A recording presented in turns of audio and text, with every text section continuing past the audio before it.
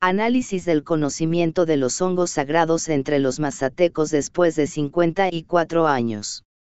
Volumen X, número 2. 30 de abril de 2014. Gastón Guzmán. Instituto de Ecología, AC, Salapa, Veracruz, México. Historia del descubrimiento de los hongos sagrados en México. El conocimiento sobre los hongos alucinógenos en México se remonta al siglo XVI con Bernardino de Sahagún, destacado fraile en los inicios de la colonia de la Nueva España. Como parte de su tarea evangelizadora, estudió las costumbres de los indígenas en el Valle de México, lo que lo llevó a descubrir el uso de unos honguillos singulares que los indígenas comían y con los que tenían visiones. A dichos hongos los identificaban, según Sahagún, con el nombre de Teonanacatl, palabra náhuatl que significa hongo sagrado, Sahagún 1530. Por siglos fue un enigma saber qué hongos eran esos que hacían ver visiones. No obstante, Safford, un destacado químico de EUA, afirmó a principios del siglo pasado que el Teonanacatl no era un hongo. Para Safford, se trataba del peyote, una cactácea común de los desiertos del norte de México y del sur de EUA, que los indígenas comen ceremonialmente y con la que ven visiones. Esta confusión fue ocasionada porque Safford había aislado del peyote una substancia con la que se veían visiones, como las que describió Sahagún con sus honguillos. A esta substancia Safford la llamó mezcalina, en alusión al mezcal de Oaxaca, que creía se obtenía del peyote y que según él lo confundían con hongos. Sin embargo, Reco, figura 1, un médico austriaco que radicaba en Oaxaca y aficionado a la antropología, se negó a aceptar que el Teonanacatl fuera el peyote. Se basó, Reco, 1919, en que había escuchado repetidas veces de parte de los indígenas oaxaqueños, que en los pueblos de las sierras comían unos hongos raros con los que veían visiones. Reco suponía que esos hongos eran el Teonanacatl de Sagún y con ello se inició la confusión sobre qué es Teonanacatl, el cual mal se aplica ahora a todos los hongos sagrados de México, como se verá más adelante en este artículo.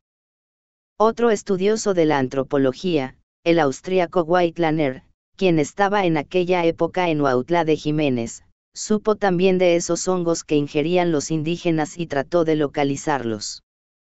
Pero en aquel tiempo los hongos alucinógenos, sagrados para los indígenas, eran un secreto que no se divulgaba a las personas ajenas a la comunidad. Esto era consecuencia de la fuerte oposición que habían sufrido los indígenas por la Iglesia Católica, desde tiempos de la colonia, para el consumo de tales hongos. Tanta fue la oposición, que el Santo Oficio de la Inquisición castigaba a quien los comiera. Esta persecución obligó a que los indígenas abandonaran las tierras bajas en donde vivían y se remontaran a las sierras. Pero al alcanzar los religiosos estos pueblos serranos tiempo después, poco a poco fueron cristianizando a los indígenas, permitiéndoles que comieran sus hongos pero que con ellos dejaran de hablar con sus dioses y se dirigieran a Dios. Nació así un sincretismo. Whitelaner al obtener los supuestos hongos sagrados mazatecos se los remitió a Reco, quien a su vez había conseguido también otros y todos fueron enviados a distintas universidades del extranjero para su estudio. Sin embargo, ninguno de estos hongos pertenecía a los sagrados. Además, como los ejemplares que se enviaron no estaban bien preservados, fue poco lo que los especialistas pudieron hacer. En la Universidad de Harvard dichos hongos llamaron la atención de Schultz, figura 2, quien hizo contacto con Reco para organizar un viaje a Huautla de Jiménez y conocer tales hongos. Fue así como Reco y Schultz emprendieron un viaje hacia aquella población en 1938, Davis 2004. Allá contactaron con los mazatecos, figura 3, e inclusive Schultz platicó con Paik, véase más adelante, para obtener los hongos. Reco y Schultz consiguieron, de parte de los mazatecos dos paquetes de hongos sagrados, pero además ellos recolectaron, hay confusión en esta información, otros hongos que suponían eran iguales a los de los indígenas, con los que formaron un tercer paquete. Schultz, de regreso a la Universidad de Harvard, solicitó que le identificaran los hongos de los tres paquetes. El especialista solamente logró determinar los hongos del tercer paquete como Panaeolus campanulatus var. Spintrinus, ahora llamado P. spintrinus, figura 26.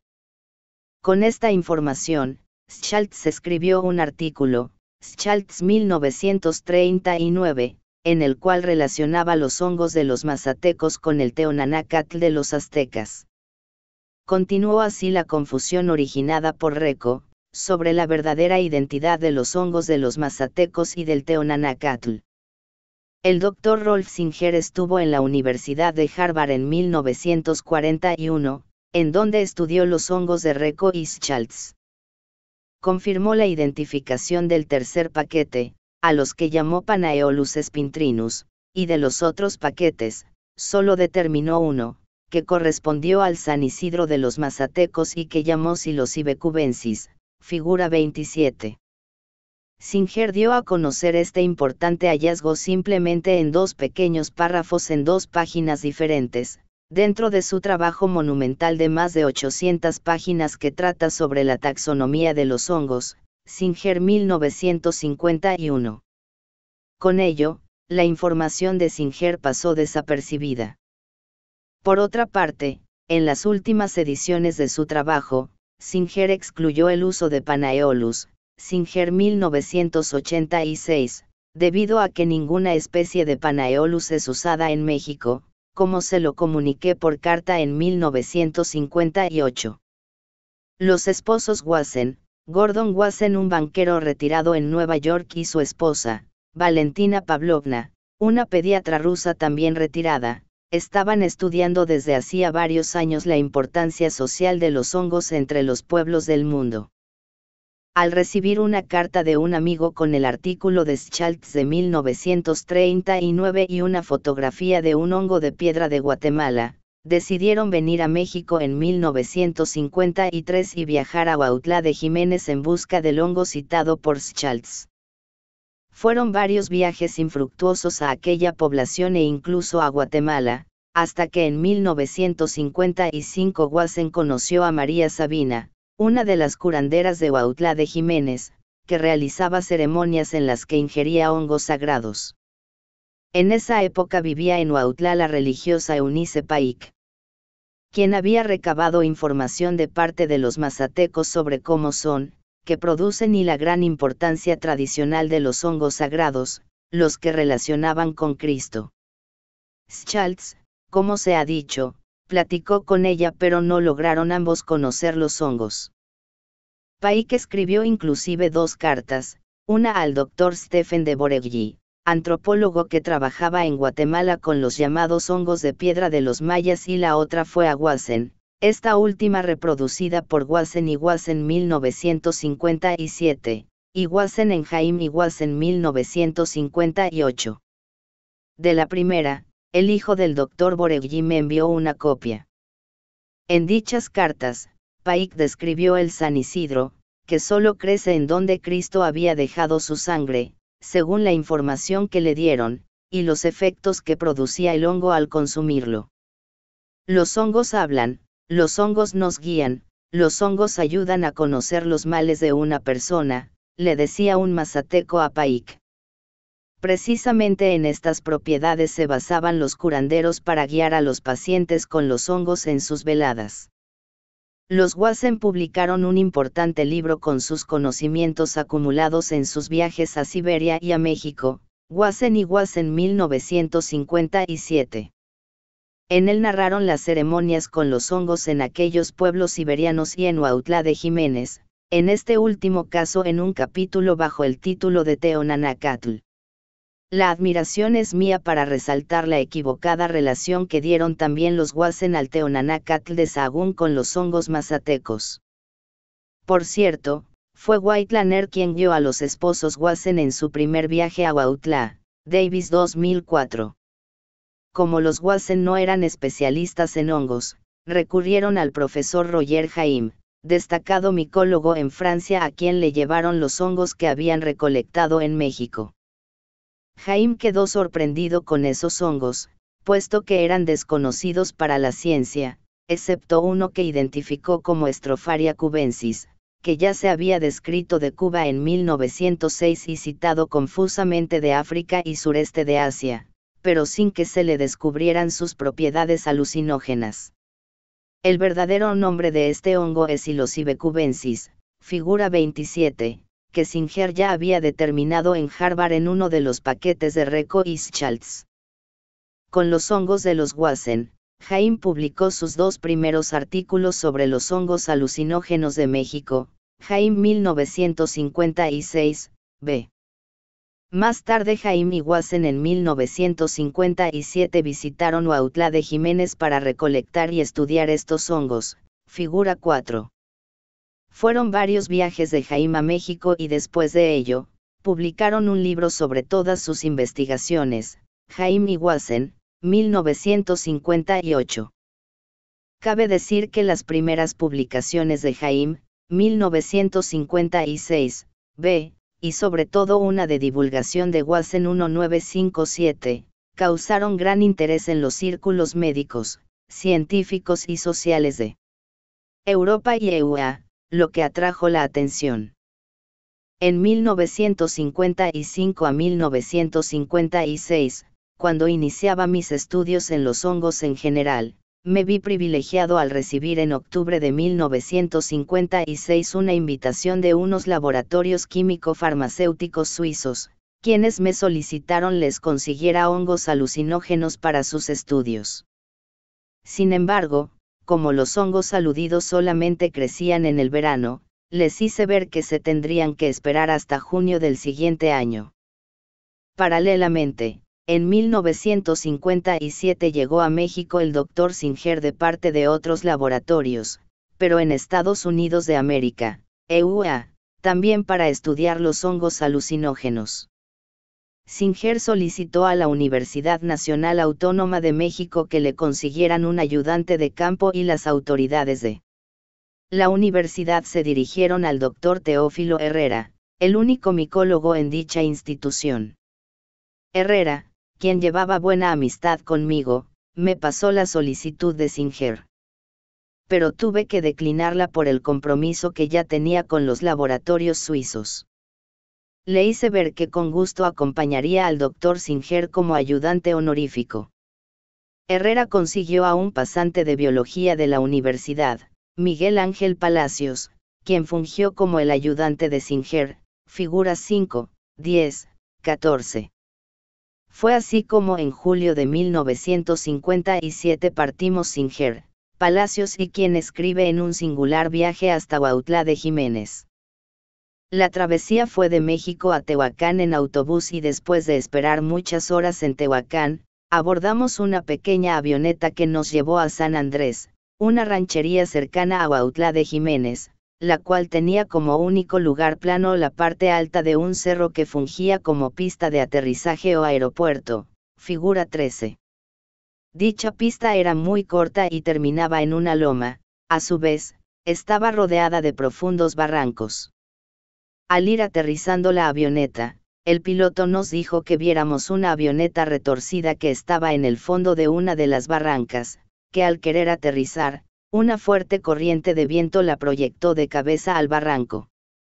De San Andrés caminamos más de una hora en una vereda de herradura hasta llegar a Huautla de Jiménez.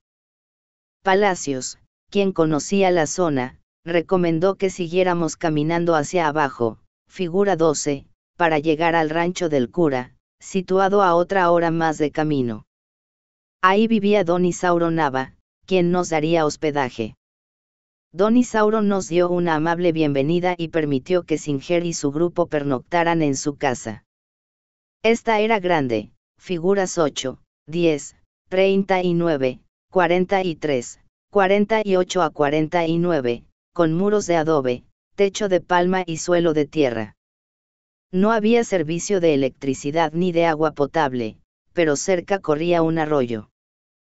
Al saber don Isauro nuestro interés por los hongos, inmediatamente organizó la primera salida y nos mostró el pajarito Onice silosive mexicana, figura 28, en llano algodón, figura 46, y después en un trapiche el derrumbe o dichito silosibeca erulescens, figuras 30-32. Días después se recolectó el citado San Isidro pecubensis, figura 27, en un potrero, que es el único de todos los silocibes que crece en estiércol de vaca o de toro. En otra ocasión, Singer y su comitiva, con la ayuda de Don Isauro, recolectamos en un cafetal una especie nueva que llamó Silocibe candidipes, figura 11. También en el llano algodón encontramos el Panaeolus spintrinus, figura 26, de Schaltz, que Don Isauro nos hizo ver era un hongo malo. La semana en la que Singer y su grupo estuvimos en el rancho del cura fue de intenso trabajo. Todas las mañanas salíamos al campo en busca de los hongos, se regresaba al mediodía a la casa y después de la comida se invertía el tiempo en registrar, fotografiar y estudiar los hongos sobre una mesa, que Don Isauro puso en el patio de la casa, figura 7 a 9. Singer y yo recolectábamos además de los silocibes, todos los hongos que se consideraban interesantes. Lo sorprendente fue que Singer, quien por primera vez estaba en México, conocía bien la mayoría de los hongos y con paciencia me explicaba cómo distinguirlos. Singer fue el primero y el único maestro en hongos que tuve.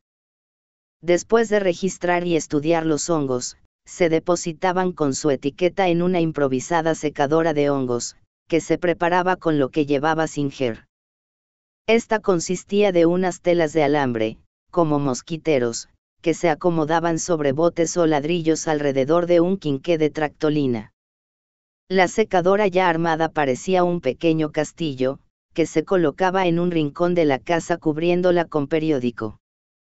Al otro día en la tarde, se recogían los hongos secos, se envolvía cada especie en un sobre de papel periódico y se guardaban en cajas de cartón, figura 14. Singer se daba tiempo además para obtener cepas de algunos hongos, figura 10, sembrando pequeñas partes de ellos dentro de un tubo de ensayo con un medio de cultivo. Como las condiciones eran poco asépticas, se sembraban muchos tubos para lograr obtener varias cepas.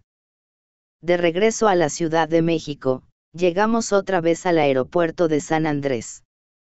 Ahí conocimos sorpresivamente a Wassen, figura 5 a 6, quien arreglaba los hongos que les compraba a los mazatecos, para enviarlos en avión a México y de ahí a Suiza en donde se estudiaban químicamente. El encuentro con Wassen fue muy positivo para mí, porque nació una amistad que repercutió en que Wassen me enviara todo lo que publicaba sobre los hongos.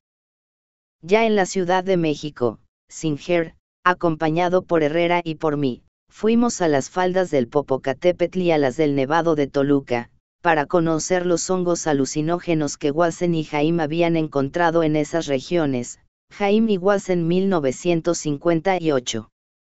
Finalmente, Singer dejó México y se dirigió a la Universidad de Michigan, EUA, para estudiar sus hongos alucinógenos junto con su colega el Dr. Alexander Smith quien tenía una colección de hongos alucinógenos recolectados en EUA y Canadá. Singer además estudió los hongos que traía de América del Sur. En 1958, ambos micólogos publicaron una importante monografía mundial. Con todas las especies alucinógenas de psilocibe conocidas en esa fecha, Singer y Smith 1958, y en donde consideraron 20, 6 de EUA, una de Canadá, cinco de Centro y Sudamérica y el Caribe, una de Europa, Gran Bretaña, una de África y siete de México. De estas últimas, cuatro son de Huautla de Jiménez. Por su parte, Palacios publicó sus memorias de aquel viaje, Palacios 1958, y yo un resumen de mis investigaciones, Guzmán 1959, que ampliadas y con nuevos datos presentaría como tesis profesional en mi escuela, Guzmán 1959b. Singer a su vez publicó la historia de estos hongos en México, Singer 1958, b. Más tarde, cuando estuve en la Universidad de Harvard en 1971, estudiando los hongos alucinógenos a nivel mundial, Guzmán 1983, revisé los paquetes de Reco y Schaltz y determiné el psilocibeca erulescens que era el único que no había estudiado ningún especialista. Era el famoso derrumbe de los mazatecos, figuras 30 a 31. Es decir, que en aquella ocasión en la que Reco y Schaltz adquirieron de parte de los mazatecos dos paquetes de hongos, obtuvieron las dos especies más importantes, el San Isidro, P. cubensis, y el derrumbe, P. caerulescens, pero no el Panaeolus en el que Schaltz 1939 basó su artículo del Teonanacatl. Después de que Singer dejó México, continué con mis obligaciones ante los laboratorios suizos que me habían contratado. Ahora tenía más interés de conocer los hongos alucinógenos. Por otra parte, al observar en Huautla de Jiménez la vegetación, figuras 12, 14, 16, 46, relacioné la región con la que conocía desde mi infancia en Salapa, lo que me motivó a ir allá y corroborar mis sospechas. Las mismas especies de psilocibe de Huautla de Jiménez estaban en Salapa. Esto me hizo explorar otras regiones en el país y descubrir localidades nuevas y nombres comunes no registrados. Guzmán 1959b, 1960, y con el correr del tiempo, describir especies nuevas. Guzmán 1978, 1983. Regresé a Huautla de Jiménez ese mismo año de 1957 para comprar grandes cantidades de hongos alucinógenos, que tenía que identificar, secar al sol y transportar a México para los laboratorios con los que trabajaba. La mayoría de los hongos adquiridos eran el derrumbe, Psilocybeca erulescens, y a veces el San Isidro, Pecubensis. Sin embargo, es muy probable que en aquellas muestras entregadas a los laboratorios iban varios ejemplares de otro derrumbe, el Psilocybe zapotecorum, que como se dirá más adelante se confunde con P. caerulescens. Obsérvense las figuras 15, 29, 30 a 32, 50. Además tuve la oportunidad de aislar cepas, tal como Singer me había enseñado. De esa manera logré obtener cepas de P. caerulescens, Pecubensis y P. mexicana que estudié, Guzmán 1959, y después se las proporcioné a mi profesor Casas Campillo de los laboratorios Sintex. Además de mis viajes a Huautla de Jiménez durante 1957 a 1958, también exploré la zona zapoteca de San Agustín Loxicha en busca del Psilocybe zapotecorum que Jaime había descrito de allá con la ayuda de Wassen y este con la de Don Aristeo, famoso curandero en la región que tuve el gusto de conocer. Sin embargo, no encontré dicho hongo, pero recolecté Psilocybexagenii, figura 35. Que también Jaime había descrito pero de otra localidad de Oaxaca, región Mixe, Jaime Iguaz en 1958.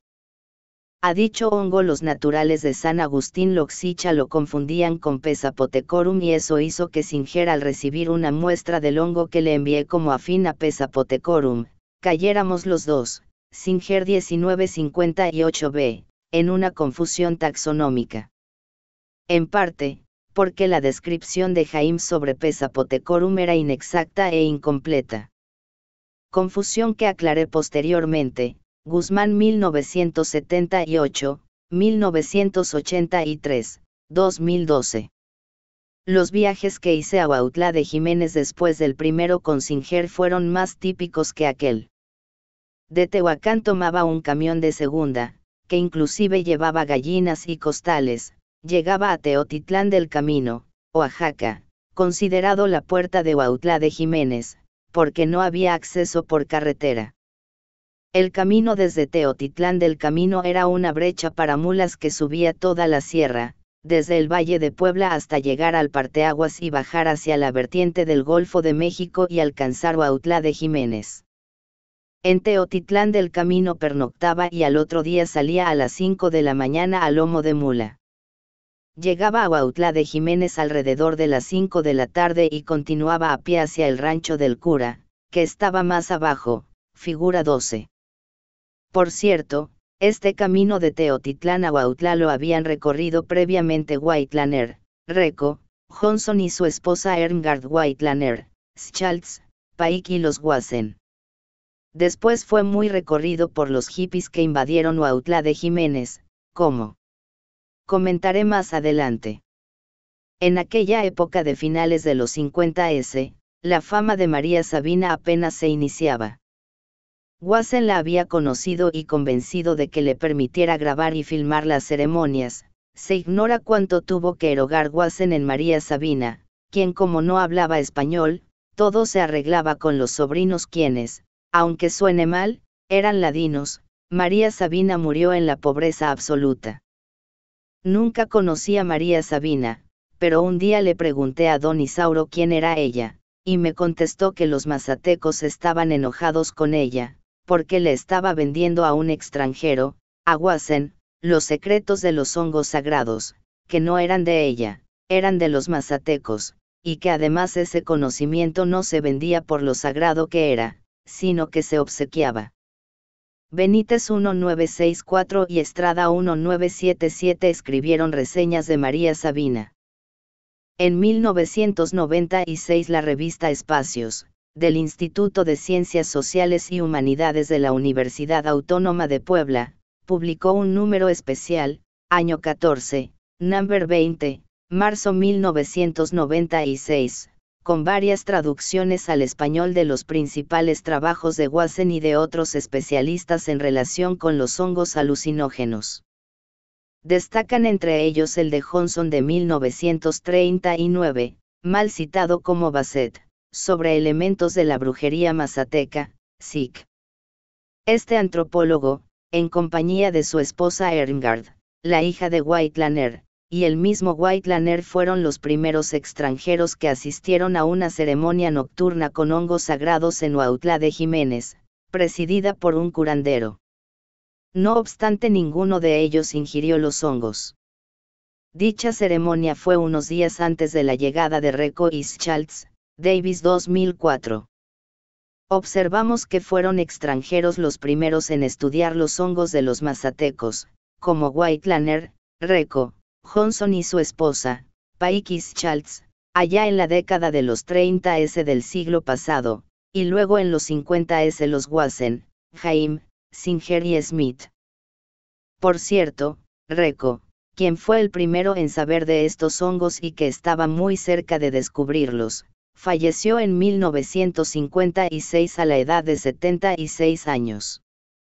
Los trabajos emprendidos por Guzmán en 1957 sobre estos hongos y continuados hasta el presente, Guzmán 2012, constituyeron los primeros que realizó un mexicano, aunque Herrera y su equipo también hicieron algunos estudios, por ejemplo Centeno y Herrera 1958, Herrera 1967.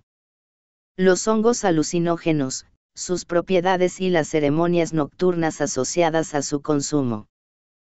Los hongos alucinógenos, sagrados para los mazatecos, reciben uno o varios nombres en mazateco y en español, como sondaína y sopajarito, dichito, escrito también dicito, o derrumbe y dicito toleraja o San Isidro, Guzmán 1997 comúnmente se les llama alucinógenos. Alucinantes, sagrados, santos, divinos, adivinadores. Psicotrópicos, entre otros. Guzmán, 1959b, propuso que el nombre más correcto debería de ser el de neurotrópicos, por su acción en el sistema nervioso central.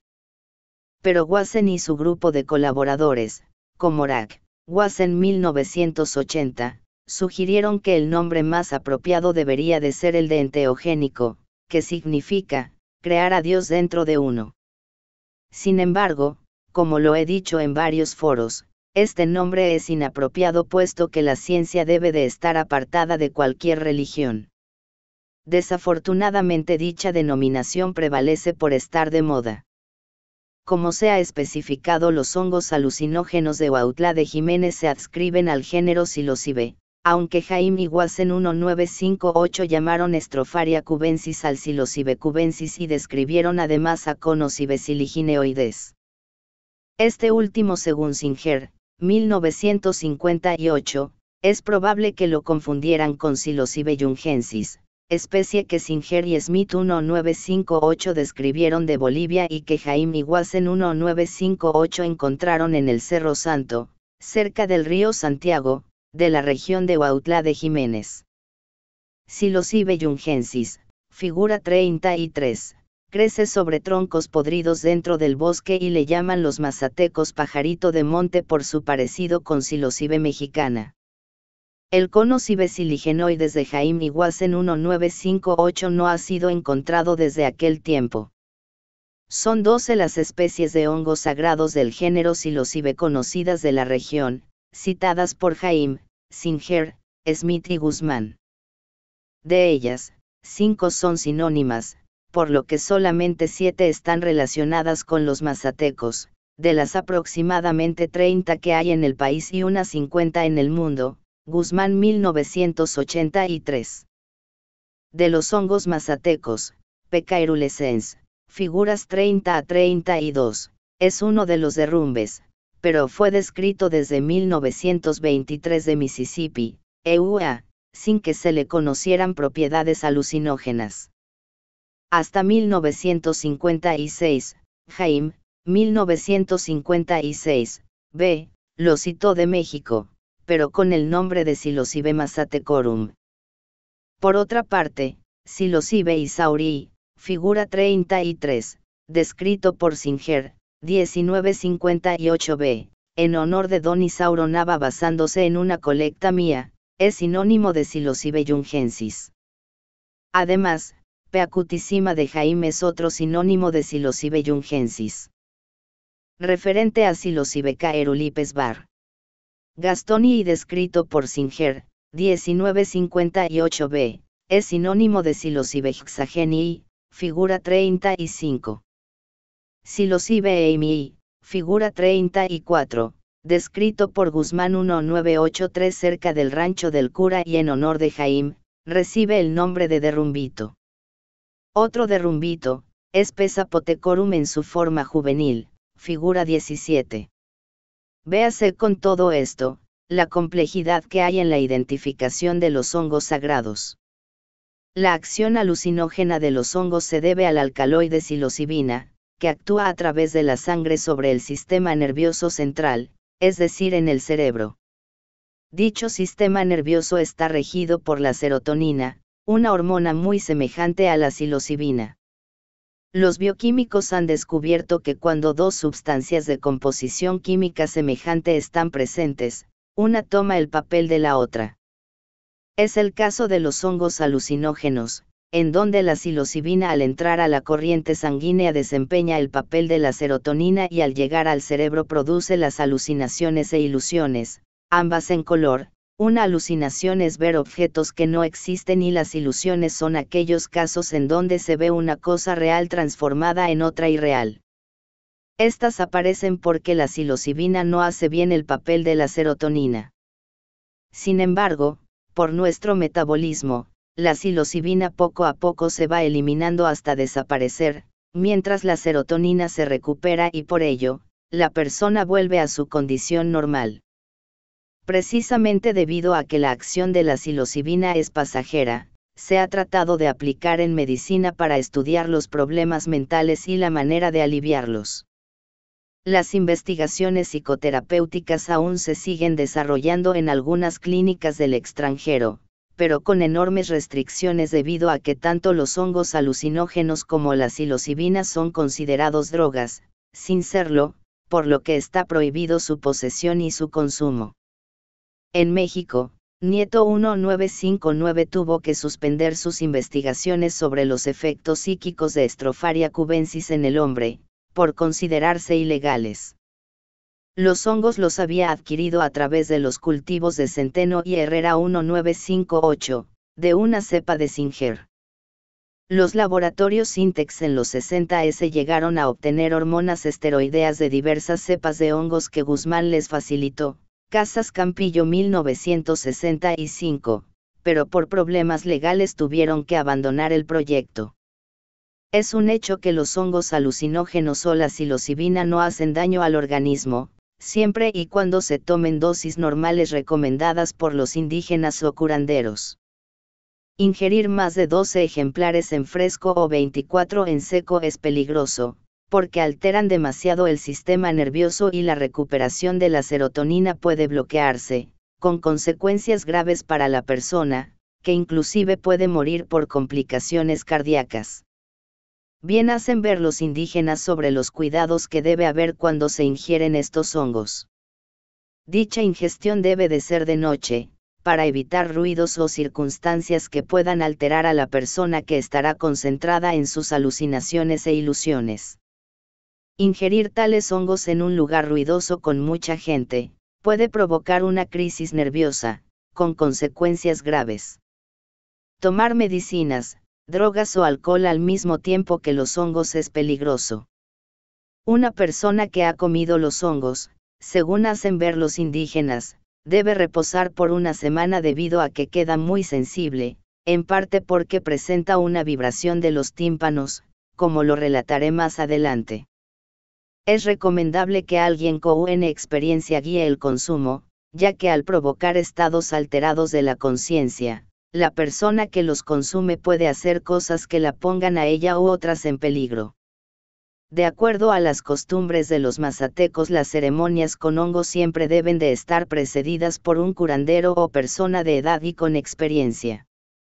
Dos ejemplos de lo aparentemente inofensivo que son los hongos alucinógenos cuando su uso es adecuado, son María Sabina que toda su vida comió tales hongos y murió anciana a los 92 años de edad, y por otra parte mi caso, cuando ingerí estos hongos en 1958 y no he vuelto a sentir necesidad de comerlos otra vez, aunque recuerdo muy bien todo lo que vi, sentí y viví. Véase a continuación, en las tradiciones, Relatos sobre las ceremonias nocturnas con hongos.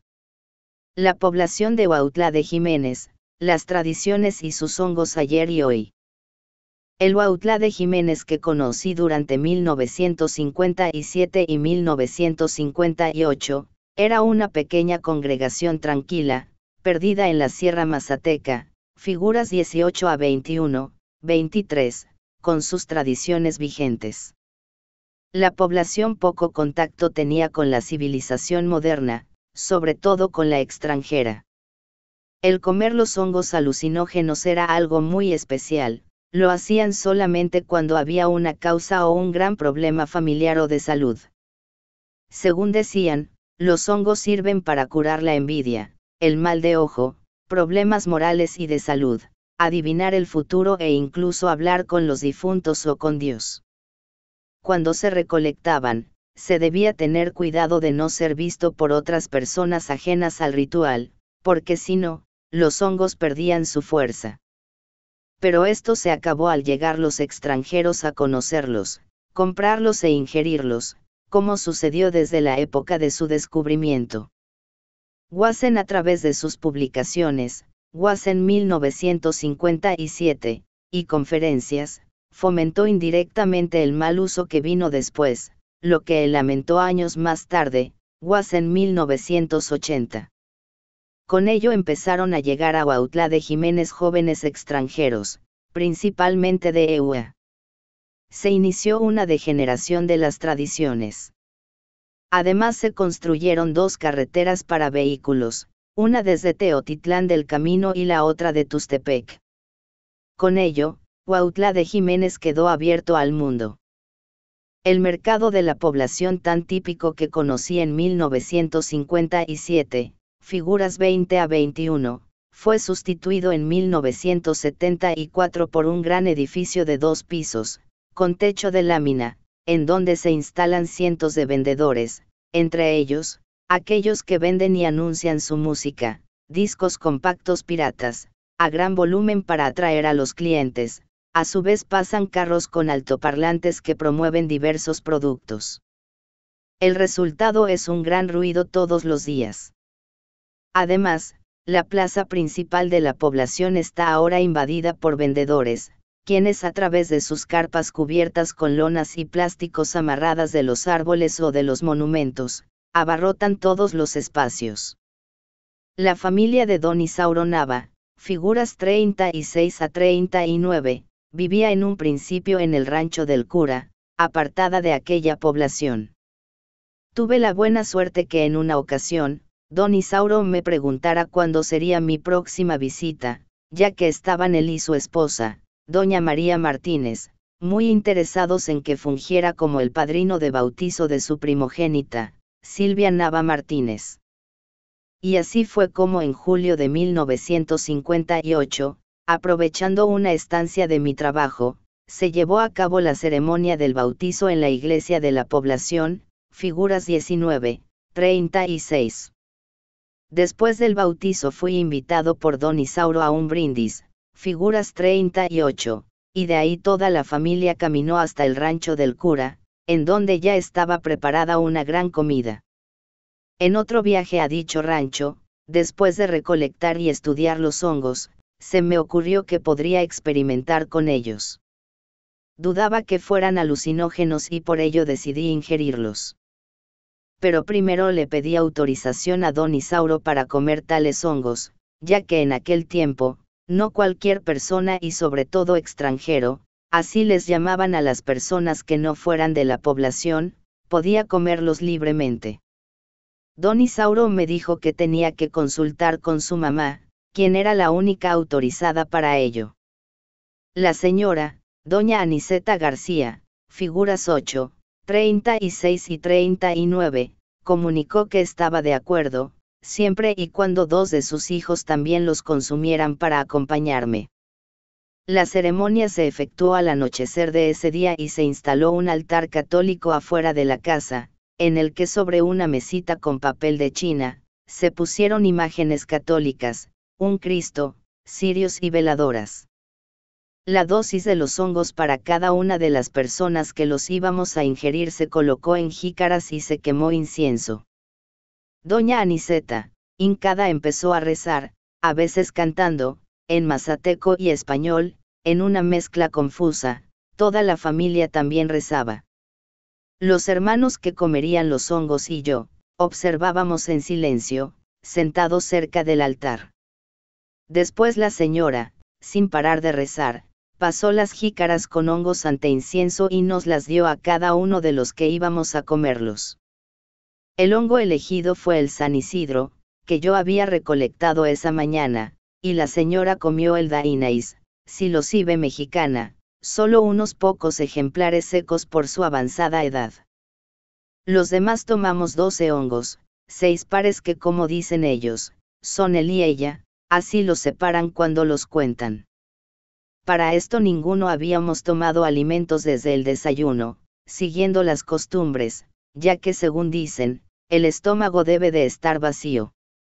El sabor de los hongos no es muy agradable, saben y huelen semejante a tortillas acedas y hay que comerlos despacio, con un poco de agua para que no provoquen vómito. Después de la ceremonia, don Isauro me invitó a que nos sentáramos alrededor de la mesa en la casa. Sus hermanos se sentaron también cerca de ella, pasados varios minutos observé que solamente don Isauro, sus hermanos y yo éramos los únicos despiertos, puesto que toda la familia se había acostado en sus petates. Decidí despedirme de don Isauro y me acosté en mi petate, el cual estaba muy cerca de la mesa y se apagó el único quinqué prendido en la casa que era el de la mesa. Recostado en mi petate me sentía bien y observaba la única luz en la habitación, la cual provenía de mi secadora de hongos en el rincón opuesto al de mi petate, secadora que armaba siguiendo el modelo de Singer. De repente la poca iluminada secadora cubierta de periódicos, emitió una fuerte luz brillante y blanca que iluminó toda la habitación e inmediatamente se convirtió en un gran castillo caricaturesco, con dos caras humanas, una se reía y otra lloraba. El castillo me hablaba y decía, ven, ven a mí, no tengas miedo. A su vez un rayo de luz que salía de la secadora hacia el petate, se convirtió en un gran tentáculo con una mano, cuyos dedos me indicaban ir hacia el castillo. Busqué mis lentes y me los puse para distinguir la secadora pero el castillo se carcajeó, sentí pánico y preferí darle la espalda al castillo. Cerré los ojos y empecé a ver miles de burbujas de llamativos colores, las cuales también veía con los ojos abiertos flotando en el aire. Me sentí de repente muy bien y confortable, en una cómoda cama sin pulgas y tenía muchas ganas de reírme. Ante la insistencia del castillo de que fuera hacia él, lo tuve que regañar y le hice ver que no iría. Las burbujas entonces empezaron a girar alrededor del petate y poco a poco se convirtieron en negros gigantes que danzaban y cantaban. Después pensé que los danzantes que veía en mis alucinaciones no existían, observé que los hermanos de Don Isauro no veían aquello. Entonces me esforcé en volver a la realidad y al tratar de ver qué eran esos gigantes, noté que iban perdiendo estatura y disminuyendo la intensidad de sus cánticos, hasta que esa alucinación desapareció y descubrí que simplemente se trataba de un perro siguiendo a un gato alrededor de mi petate. Pasó el tiempo y otras alucinaciones e ilusiones se me presentaron, como una cueva debajo de mi petate con mucha luz y un exagerado zumbido de grillos. En fin, vi y viví muchas cosas, pero al mismo tiempo sabía quién era yo y en dónde estaba. Recordé que Wassen en una de sus publicaciones narró que los siberianos comían un hongo alucinógeno o se bebían los orines de la persona que los habían ingerido, porque la sustancia alucinógena se desechaba de esa manera. Con ello pensé que si orinaba se me terminarían las alucinaciones. Pero como ya había notado antes, no me podía erguir porque mis piernas no reaccionaban, decidí ir hacia la puerta de la casa en cuatro patas.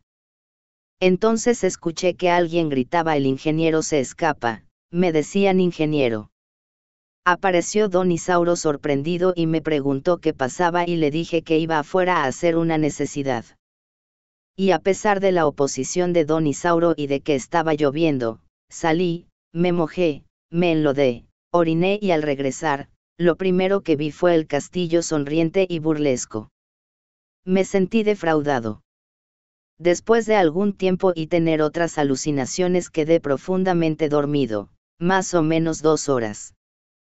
Al ser despertado por las señoras que se levantaban a las cinco de la mañana para poner el café y hacer tortillas, noté que ya no estaba el castillo. Sentí alivio y me levanté cansado por la desvelada, empaqué mis cosas y desayuné. Al despedirme de la familia, don Isauro me comunicó que no podía partir, porque su mamá decía que tenía que guardar reposo por lo menos cinco días. Me disculpé porque no podía quedarme por mis muchos compromisos y noté la angustia en toda la familia, inclusive que las mujeres lloraban. Sin embargo, partí con mis bestias y la carga de mis hongos, para llegar a Teotitlán del camino y pernoctar. Ahí me percaté que todo el día había tenido un zumbido en los oídos, como aquel que escuché en la cueva de mis alucinaciones. Dicho zumbido se intensificaba cuando recargaba la oreja sobre la almohada lo que me hacía recordar la noche de las alucinaciones. El zumbido me duró cinco días, los mismos que sabiamente me habían indicado de guardar reposo en casa, según lo marcaban las costumbres mazatecas. Y a propósito de la pérdida de las tradiciones en Huautla de Jiménez, observadas en mis visitas de 2012 y 2013, conocí en el rancho del cura a una vendedora de hongos santos. Tenía ella los hongos revueltos en un gran envoltorio de periódico, quizá con más de 100 ejemplares secos, pero todos negros por haber sido mal secados y lo peor, estaban cubiertos de mohujos. Seleccioné algunos con dificultad, cinco posibles especies y le hice ver a la señora que el comer hongos con mohujos hacía mucho daño, que los tirara antes de que causaran una tragedia. La señora no me entendió e insistió en el precio, el cual era muy elevado y más para los cinco grupitos que escogí. Aquel conocimiento tan profundo que tenían los mazatecos sobre sus hongos, como el ejemplo de Don Isauro, véase la figura 7, se está perdiendo o se perdió. De los cinco grupos de hongos que seleccioné en el paquete de la señora aludida, después del estudio microscópico, se encontró que pertenecen a cuatro especies de psilocibe, a saber, P. caerulescens, P. cubensis, P. hexageni y P. mexicana, de los que el más abundante resultó el primero. Interesante es observar que P. zapotecorum no estaba representado en los hongos de la señora, lo que contrasta con los hongos frescos que obtuvimos a través de los mazatecos en el viaje de 2013, figuras 15, 29, 32, 50. Actualmente las ceremonias nocturnas con hongos se han mercantilizado y desvirtuado. Hace poco tiempo se publicó en un periódico de la Ciudad de México un artículo sobre estas ceremonias de los mazatecos, con una fotografía a colores que muestra la triste realidad, una ceremonia en Huautla de Jiménez con una humilde señora, una muchacha y un chamaco, observando un incienso quemándose sobre una tabla colocada sobre una mesa mal cubierta con un mantel arrugado. Aparentemente las personas estaban rezando de pie, con las manos cruzadas en el vientre, excepto el chamaco que tenía las manos sobre la mesa, porque estaba recargado. En dicha mesa se observa una vela grande, no cirio, en una llamativa botella de fante como candelero y también una hoja de plátano con muchos hongos todos revueltos, además de una cajetilla de cerillos, un papel arrugado y un trapo para limpiar. Al fondo sobre la mesa pegada a la pared, una pequeña imagen de la Virgen de Guadalupe, mal recargada sobre unos enseres de cocina.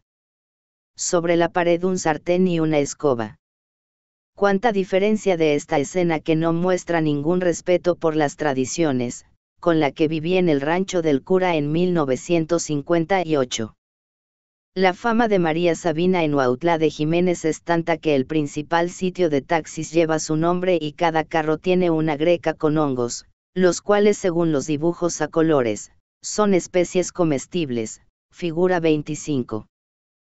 Por otra parte, hay rumores de que el municipio está planeando cambiar el nombre de la población por el de Huautla de María Sabina, lo que sería un atentado contra la historia y falta de respeto al general Mariano Jiménez, quien en 1864 fue el primer gobernador de Oaxaca quien visitó la población. Parece que la única curandera que hay ahora en Huautla de Jiménez es la señora Julia Julieta Casimiro de Pineda, quien se anuncia en Internet y se considera mujer sabia, es una católica muy devota que cura aparentemente con hongos sagrados. Pertenece a un Consejo Internacional de Indígenas de Nueva York y ha visitado varios países como India. La apoya su hija Natalia Pineda y ellas construyeron una capilla llamada Virgen de los Remedios, en donde ofrecen sus servicios y los ritos del Teonanacatl, todo por una cuota previa. Esto parece ser una mala evolución mercantilista y pragmática de los ritos descubiertos por Johnson y por Wassen, en donde no se cobraba cuota alguna ni se le daba tanta importancia al catolicismo. En la abundante bibliografía sobre los hongos alucinógenos en el Internet y referente a Huautla de Jiménez y sus hongos, hay muchas inexactitudes y errores.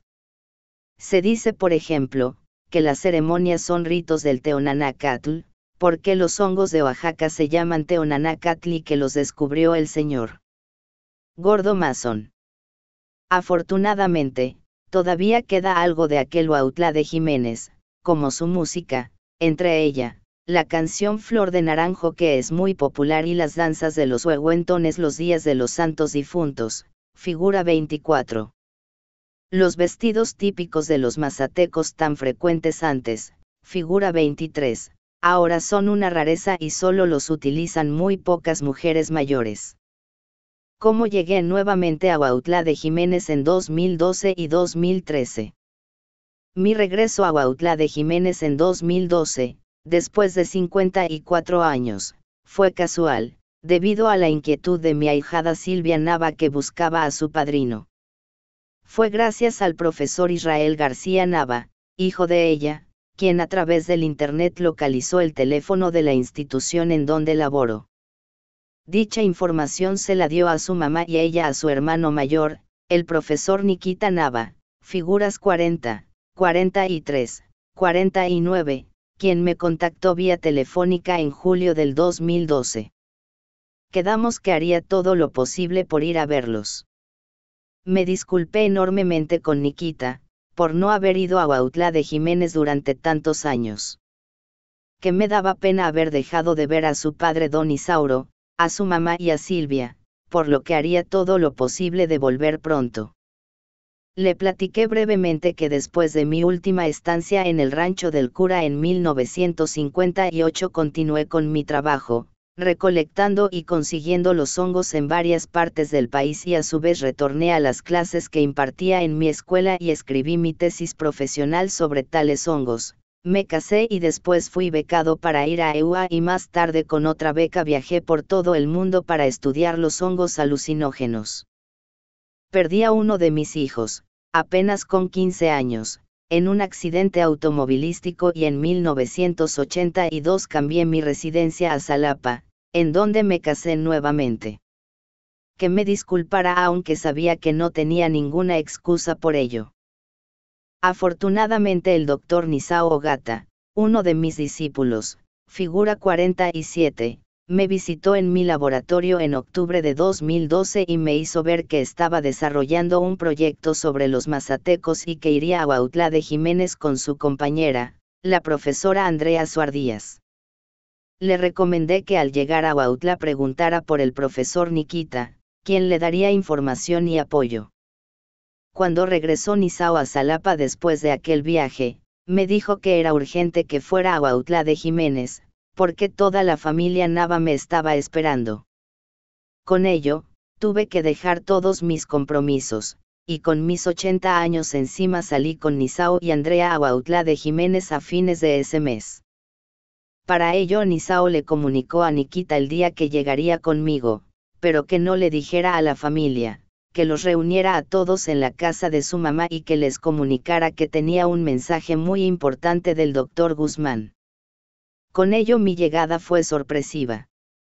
Era vísperas del Día de los Santos Difuntos y al verme frente a la casa, María Martínez, la viuda de don Isauro y su hija Silvia, lloraron y pidieron inmediatamente que les llevaran del altar que tenían montado en la casa, unas flores y un cirio que me entregaron, mientras otra persona pasaba incienso a mi alrededor, figuras 40 a 41. El resto de la familia observaba, lo mismo que la gente en la calle que se congregó. Después de ello entramos a la casa y ahí vi el altar que habían instalado con motivo del Día de los Difuntos y en donde estaba una fotografía de Don Isauro conmigo el día del bautizo en 1958. Más tarde pregunté por el rancho del cura y me comunicaron que todavía lo tenían, pero que ninguno de ellos vivía ahí. Se arregló el viaje para visitarlo, pero antes, al día siguiente, fuimos al Panteón, figuras 44 a 45. El día de los santos difuntos toda la familia junto con Nisao, Andrea y yo, fuimos al Panteón, figura 44, a visitar la tumba de Don Isauro, figura 45. El viaje al rancho fue al otro día en compañía de la comadre, la hijada, Andrea y Nisao. El camino estaba como el de 1957 a 1958, de herradura, sinuoso, lodoso y muy empinado, con la diferencia de que ahora había muchas casas aisladas y ranchitos. La casa del rancho del cura, en donde había pernoctado varias veces estaba casi igual, con la diferencia de que el techo es ahora de lámina y el piso de cemento, figuras 42 a 43, 48 a 49, y la habían ampliado un poco a lo largo.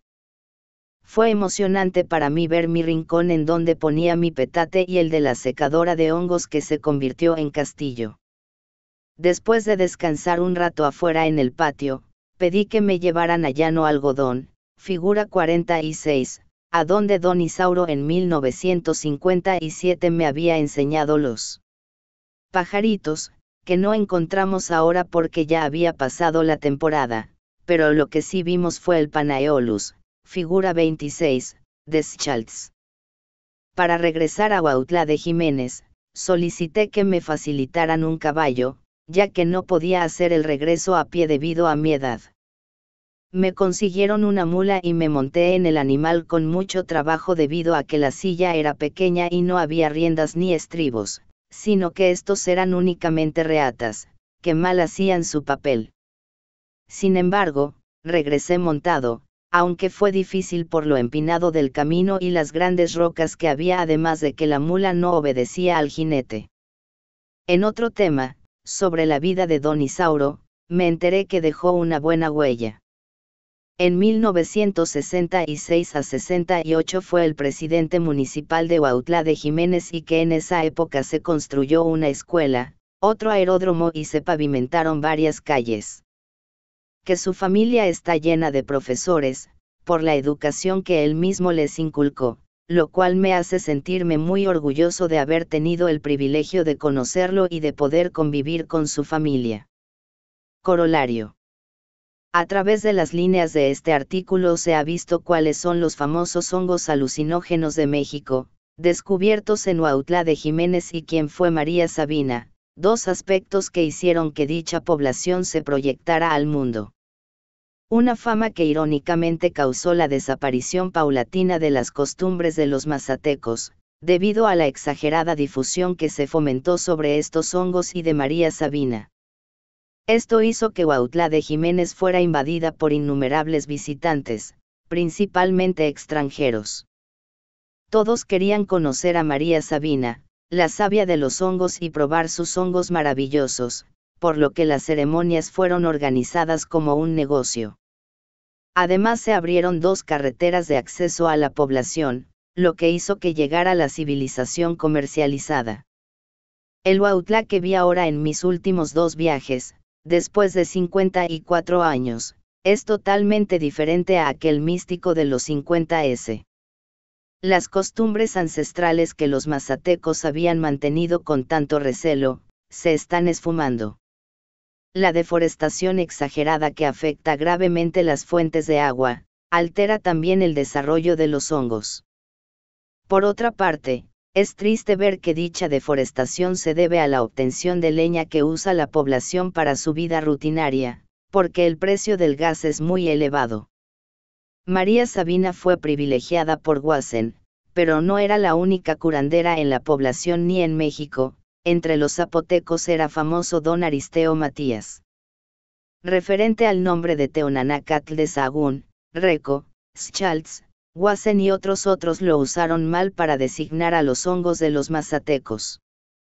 En varios foros he hecho ver, Guzmán 1960, 1983, 2012, que dicho vocablo no se usa o nunca se ha usado en México y que el nombre correcto del mismo es Teotlacuilnanacatl, denominación náhuatl que significa hongo sagrado que pinta o describe, pero que no tiene relación alguna con los mazatecos. El viaje que realicé a Huautla de Jiménez y al rancho del cura en julio de 2013, con mi esposa Isabel, mi hija Laura y mi yerno Eduardo fue muy significativo, porque constaté mucho de lo que había visto en el 2012 y el cambio de las costumbres ancestrales, la afectación al medio ambiente, la sobrepoblación de comerciantes fuereños, la falta de interés por la tradición de los hongos sagrados y la escasez de estos de cómo ahora la mayoría de la población ignora los hongos sagrados o los conocen poco y no tienen el respeto que antes había con ellos.